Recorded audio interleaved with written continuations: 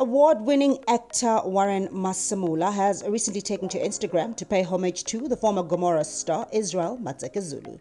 The pair have worked together on several films, including iNumber Number and Avenged. Hey, hey, Mzansi. Hello and welcome to Entertainment News Mzansi. Now, if you're new to my channel, you know you're here for the stories. Go ahead, click the subscribe button and the bell, and you'll never miss an update.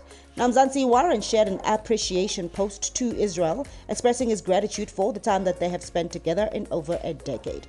I thank God for all the beautiful memories we've created and shared since we met 10 years ago on the set of hashtag iNumberNumber. You're such a great storyteller, on and off screen. Your life experience, he film. Your strength is incomparable. I love you at Israel Matseke Zulu. He wrote, also sharing one of his dialogues with Israel.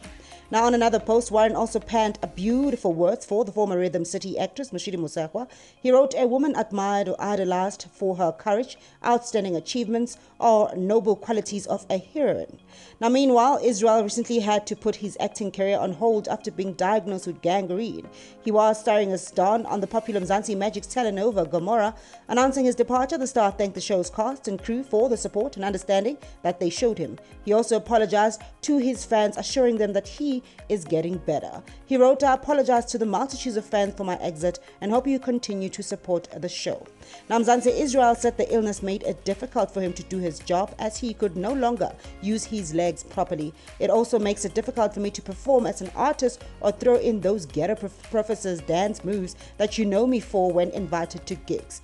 Mzansi, the actor, also shared that he had a had to quit smoking after his do- doctor told him that smoking could be the cause of his illness, which, according to his doctor, is normally caused by high blood pressure and sugar diabetes.